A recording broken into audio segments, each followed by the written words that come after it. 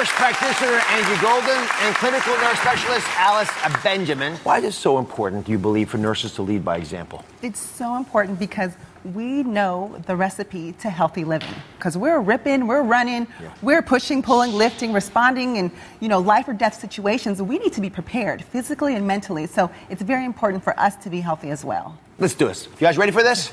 All right. Alice has a 28-day plan to be slim and strong by living like a nurse.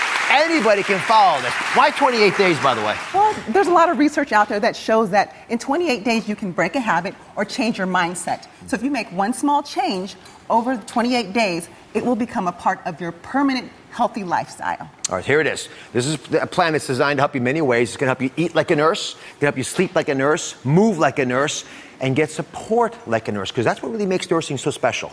Yes. Literally supporting at every level. First, we're going to start off with eating like a nurse.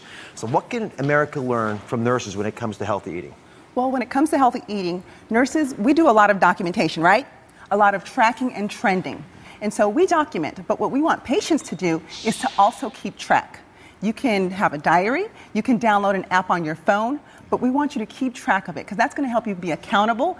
And when you know what you're eating, you're less likely to reach out for those donuts or those chips uh, when you know what the goal is. So document, track, and trend is very important. So it turns out folks have actually studied this. And when you track and trend what you're doing, you eat better foods, you exercise the right way and in the right amount, you actually double your weight loss. Absolutely. It really does work.